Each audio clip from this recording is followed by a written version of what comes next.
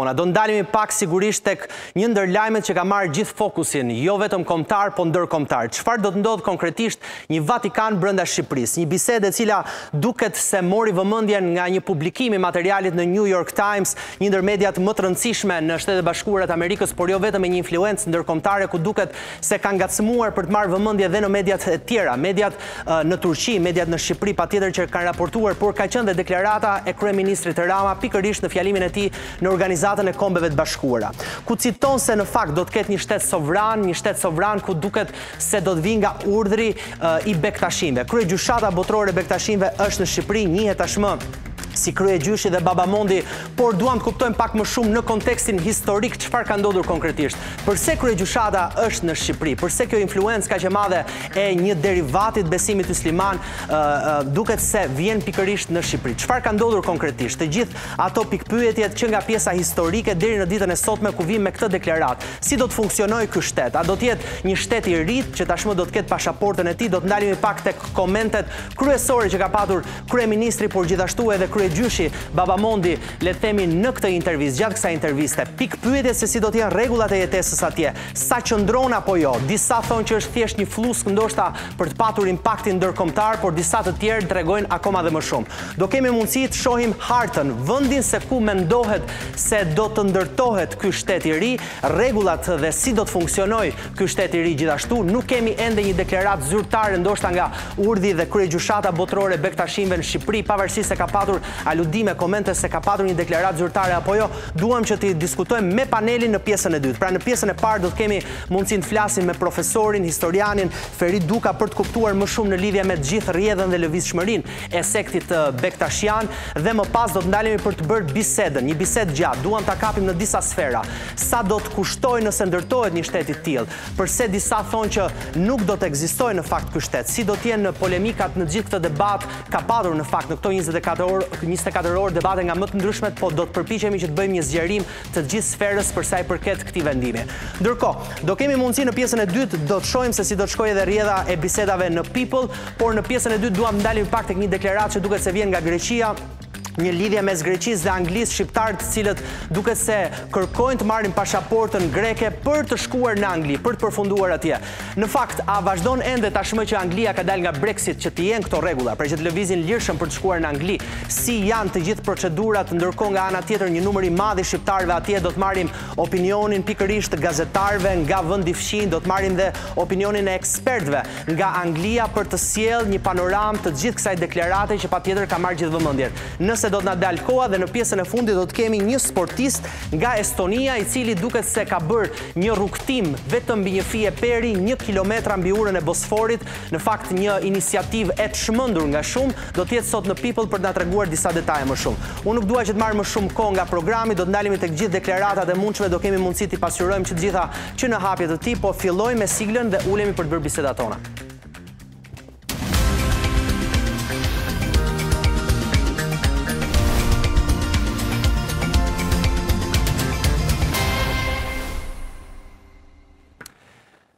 Mirë është momenti që të ndalemi pak tek pjesa e parë, të kuptojmë pak më shumë se si do të jetë e gjithë kjo atmosferë. Pikëpyetjet nga ana historike, përse një kryegjyshatë në Shqipëri, si ka qenë e gjithë rrjedha historike, Ky devijim, ndoshta fetar, për të kuptuar pak më shumë përse është përqafuar nga shqiptarët, që kur ka filluar ky përqafim dhe ndërkohë nga ana tjetër duhet të kuptojmë se jo më larg në fakt se sa edhe fundi i i le të themi edhe i censusit zbuloi pak a shumë të gjithë përqafimet fetare në Shqipëri.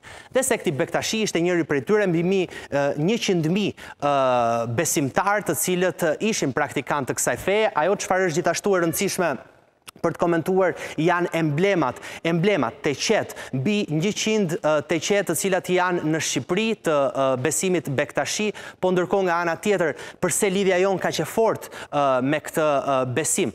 Ndërkohë nga ana tjetër të kuptojmë, e gjithë kjo rrjedhë, element historik, a është gati Shqipëria për të patur një shtet të tillë sovran bektashi edhe në Shqipëri. Përpara se të mirëpres edhe profesorin, do doja shumë që të kishim një panoramë të kryegjyshatës dhe vendit ku presupozohet që do të bëhet, do të ndërtohet ky shtet. Pra ky është vendi ku është dhe kryegjyshata botërore bektashiane, aty ku njihet edhe, nëse do ta quajmë si selia e besimit bektashi, Kjo është pamja në kohë reale, vendi ku sot gjendet kryegjyshata dhe ndërkohë në pak më vonë do kemi mundësi që të shohim vendin se ku pritet që të ndërtohet. Në fakt ka një histori edhe në lidhje me pronat e besimit Bektashi, territori i cili duket që në kohën e komunizmit ashtu siç është ndarë edhe në mediat edhe në median e New York Times-it ku është komentuar se në fakt Nëntëdhjetë hektarë të cilat janë copëzuar që nga koha e komunizmit, duket se aty do të jetë edhe vendi ku do të ndërtohet. Do të ketë një të tretën apo një të katërtën e madhësisë së Vatikanit, i cili njihet dhe si selia e shenjtë e besimit të krishterë. Pra, një shtet brenda shteti. Si do të jenë të gjitha këto rregullat? Ju lutem regjia më ndihmon për të mirëpritur edhe profesorin në në studio. Pra, kryegjyshata botërore bektashiane, këtu është selia, ndërkohë gjithë pjesa e pasme e saj do të jetë vendi ku është komentuar edhe edhe në në të gjithë aspektin edhe në të gjithë aspektin fetar për të diskutuar në lidhje me këto elementë. Dua që të mirëpres profesorin Ferit Duka, historianin, mirë se vjen profesor, shumë kënaqësi, në fakt një temë shumë rëndësishme duhet thënë edhe në aspektin historik. Shumë kënaqësi. Unë do doja ta bënim bashkë pikërisht kështu bisedën në aksion, me pamjet në fakt edhe të të gjithë zonës edhe territorit se ku do të mbahet. Përse profesor ne kemi një kryegjyshatë botërore në Shqipëri Bektashiane? Historia e bektashizmit në Shqipëri është mhm. shekullore, në fakt. Lidhet me, ju e dini që bektashizmi është ka lindur në Anadol, mhm. ka si themelues të tij Haxhi Bektashin, nga i cili ka marrë dhe emrin bektashizmi, dhe prej andej pastaj bashkë me Osmanët sigurisht erdhi dhe u përhap edhe në hapësirën shqiptare. Natyrisht që... Pra atëherë ka filluar edhe përhapja në hapësirën tonë. Domethënë, i takon shekullit 15 mhm. dhe Pararendës është Sari Salltëku i famshëm. Mhm. Ne kemi sot edhe një vend të shenjtë në Krujë. Qartë. Me Sari Salltëkun dhe prej andej pastaj, gjatë rrjedhës së shekujve, erdhi dhe u konsolidua si një po themi, rit mysliman, urdhër mhm. i mysliman, urdhri bektashian. Mhm. Po përse, çfarë kishte ndryshe nga urdhri mysliman ky urdhër jo, bektashian? Jo, është një degë e fesë myslimane, mhm. është një tarikat që i thonë mhm. në Turqisht, pra urdhër i veçantë, i cili konsolidoi regullat e veta, konsolidoj sistemin e pikëpamjeve dhe ritin e vet të veçantë, është një sekt liberal i islamit. Mhm. Pra është një sekt më liberal i islamit. Më liberal i islamit. Çfarë do të thotë? Ku e shohim liberalizmin e tyre? Nuk është i orientuar nga zbatimi me përpikmëri i doktrinës islame, i rregullave, siç i ka versioni për shembull sunit i islamit. Kështu që... Që është, nëse mund të përmendim disa prej tyre. Fjala vjen, që lejon pijet për shembull. Lejon alkoolin. Lejon alkoolin. Ka qasje më liberale ndaj rregullave në jetën e përditshme, ka nuk ka Ka mbulim të grave nuk ka mbulim të grave, nuk ka mbulim të grave. Dhe pra është liberal në zbatimin e rregullave të fesë islame. A u lejohet bektashimve profesor që të martohen? Kjo është një çështje tani sigurisht e rendit që kanë. E qartë, e rendit të tyre. E rendit të tyre. Mhm. Unë nuk e di se si është hierarkia, lejohet në cilën e fazët e po. hierarkisë, por ka një hierarki të caktuar, sigurisht bektashizmi ka evoluar, mhm. që nga themeluesi i tij Haxhi Bektashi, mhm. që lindi si një lëvizje pothuajse popullore në Anadoll, kundër Sulltanatit Selxhuk dhe pastaj erdhi dhe evoluoi në konsolidimin si rit i veçantë i fesë islame. Pra një rit i veçantë i po, fesë islame. Po, sigurisht, bektashizmi, mhm. po, që është një pse në Shqipëri, përse në Shqipëri? Ku e gjeti gjithë? Gjeti një përhapje relativisht më të madhe sesa vendet e tjera të mhm. Ballkanit. Studiuesit janë të mendimit se e para në Shqipëri bektashizmi gjeti një fole më të ngrohtë. Pse? Sepse fakti që unë e përmenda, mhm. që është një sekt më liberal, që ka kuptim më liberal ndaj për normat e islamit, sigurisht që pajtohet me natyrën e shqiptarit i cili është adhurues i lirisë, i jetës së lirë, mhm. dhe kjo është një nga arsyet, Pra gjeni më shumë liri në Shqipëri dhe jo, kjo është edhe një arsye. Adhurim të liri. Një adhurim të liri. Domethënë shqiptarët e pranuan si një sekt i cili u përshtatet më shumë natyrës së tyre të lirë, mhm. adhurimit të lirisë Dhe kjo ishte një nga arsyet. A ka qenë gjithmonë këtu profesor në fakt Se lija? Jo, sigurisht ka dhe arsye tjera. Unë desha të them një tjetër arsye. Që të mos kthehemi edhe me kurriz për të qëndruar ne në këtë pikë. Një tjetër arsye është edhe fakti që ka pasur mbështetje politike. Në rrjedhën e parë. Që do të thotë se fjala vjen sidomos në shekullin e tetëmbëdhjetë, kur aristokracia, bejlerët dhe pashallarët shqiptarë, filluan që të kenë një prirje më të madhe për të krijuar domenet e veta, për të krijuar një distancë ndaj pushtetit qendror osman, për të qeverisur në mënyrë autonome, siç ishin pashallëqet e mëdha shqiptare, sigurisht që pashallëku i Janinës dhe vetë kreu i këtij pashallëku, Ali Pashë Tepelena, edhe për faktin se bektashizmi ishte në opozitë me shtetin Osman, sigurisht që i dha mbështetje të madhe bektashizmit, po, mhm. madje, madje, krerë të këtij urdhri bektashian, mhm. figura të tij, bënë erdhën në pashë territorin e pashallëkut, erdhën në vetë Janinë, kryeqendrën e pashallëkut, bënë gjetën aty një mirëpritje nga vetë kreu i pashallëkut, mhm. Ali Pasha, Madje disa, ndonjë prej tyre edhe mori detyra të rëndësishme siç ishte diplomacia, për shembull, brenda Pashallëkut. Pse? Sepse Ali Pasha kishte interesat e veta.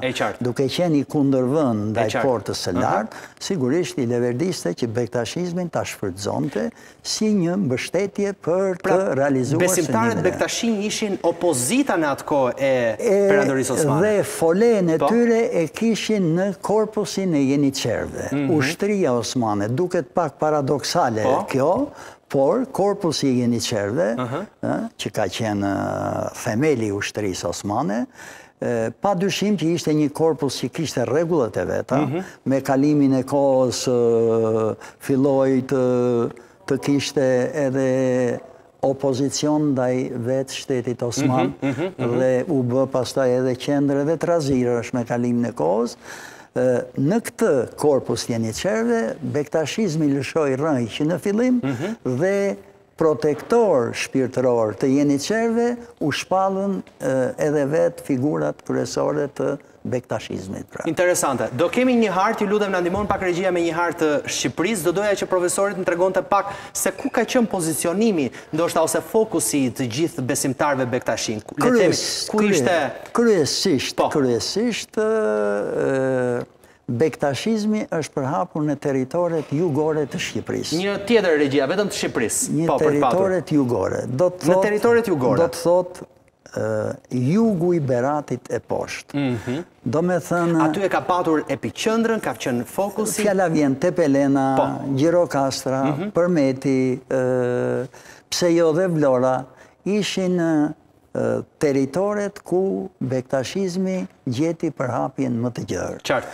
Dhe ndërto, u ndërtuan edhe monumente bektashiane, siç ishin teqet për shembull, okay. teqet bektashiane, institucione kryesore të bektashizmit, mm -hmm. faltore bektashiane, të cilat kanë luajtur një rol të madh jo vetëm në kuptimin fetar, mhm. por edhe më vonë pastaj në mbështetje të lëvizjes kombëtare shqiptare. Por ju thoni që ka qenë një liri më e madhe, pra ka, është një lloj besimi që ka patur një lloj lirie. Kush ka qenë që kundra... Që nuk ka shumë ndalime, e, do, e, e thënë më shkurt. E qartë, nuk ka shumë ndalime, po kush ka qenë kundërpesha e besimit Bektashi?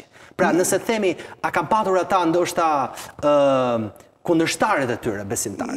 Jo, brenda ose rryma të cilat kanë kundërshtuar njëra tjetrën. Bektashizmi ka qenë në përgjithësi sekt tolerant. Mhm. Ne nuk unë të paktën, nuk mhm. kam ndeshur në histori fakte, momente apo ngjarje që të lidhen me konflikte të shkaktuara midis bektashizmit dhe dhe besimtarëve të tjerë. Ka qenë një po. urë lidhëse mhm. kryesisht midis krishtërimit dhe islamit në territoret shqiptare. Ka qenë një faktor tolerance dhe harmonie. Përgjithsisht, Bektashianët e kanë luajtur këtë rol gjatë gjithë historisë shqiptare. Në fakt kam dëgjuar një intervistë të Baba Mondit, i cili thoshte se kohë më përpara Shqipëria ka qenë gjys për gjys me besimin Bektashi. Nga historia, ka fakte të cilat e mbështesin këtë deklaratë? Nuk më rezulton kështu. Nuk të rezulton. Sepse unë ju referova ndoshta censusit të fundit, na e nxjerr edhe regjia pak se sa kanë qenë shifrat. E respektoj shumë Baba Mondin, por territoret kryesore, ku kanë qenë përhapur, janë ato që unë ju thashë. E kuptoj. Por, por kjo nuk do të Pra këtu jemi. Po. Mysliman Bektashi 115.000 flasim sot. Domethënë diku rreth 5%, 4.85 diçka e tillë, me sa mbaj mend unë mm -hmm. shifrat. Ë uh, Bektashi A kanë qenë dikur më shumë profesor? Apo flasim pak a shumë në të njëjtat përqindje? Në përqindje, siç janë censuset e sotme, ne nuk kemi mundësi ta... E qartë. Por, natyrisht që varianti sunit ka qenë kryesori, varianti më i përhapur në Shqipëri, kurse varianti bektashi, pra urdhri bektashian, ka qenë i përhapur në zonën që unë thashë, kryesisht pra zonën e jugut. Pra, kemi këtë pjesën Kjo është zona që kryesisht ka patur, mund të vish profesor edhe pak më afër po. hartës. Domethënë, Korça, Erseka, Përmeti, mhm. Gjirokastra, Tepelena, Vlora, pra pjesa e jugut. Përse Kruja, profesor? Tani, po. duke thënë që ky ishte territori ose hapësira kryesore po. ku ishte përhapur bektashizmi. Natyrisht, ne nuk duhet të themi që ishte i përhapur vetëm në këtë zonë. E jo. qartë, e qartë. Bektashizmi ka pas depërtuar edhe në zona të tjera të hapësirës shqiptare. Fjala vjen Kruja, në Shqipërinë e Mesme, po i them unë. E kuptoj, po, Shqipëria e Mesme, po. E Mesme është, ka qenë një nga vatrat e bektashizmit. Madje madje një historian i famshëm gjerman, mhm. nëse më kujtohet mirë viti 1927-28, po. ka bërë kërkime në Krujë, sepse gjurmonte gjurmët, ndiqte gjurmët bektashiane, po. dhe ka gjetur atje, na informon që ka gjetur gurë me mbishkrime bektashiane. Gurë me mbishkrime po. të cilat sa të vjetra mund të jenë? Po, domethënë shekullore, fjala vjen u takojnë shekujve 17, shekullit 18. Dhe po ashtu Kruja mhm. ka qenë një nga, po e quaj bastionet mhm. e bektashizmit në Shqipërinë e mhm, mesme, e dëshmuar si e tillë edhe nga etnologia dhe publicistja e famshme, mikesha e shqiptarëve Edith Durham. Edith Durham. Edhe ajo e ka vizituar. Edhe ajo e ka vizituar. Dhe ajo na sinjalizon gjithashtu për prezencën e bektashizmit në këtë vend. Përse në Krujë, profesor? Si e mendoni ju, përse në Krujë? Në Krujë, ja ju lutem, në po. Krujë ne kemi dhe Vendin e shenjtë, e dini matanë Krujën, po. i Sari Saltëku. Sari Saltëku, i njohur... Që është referencë themelore për urdhrin Bektashian. Mhm.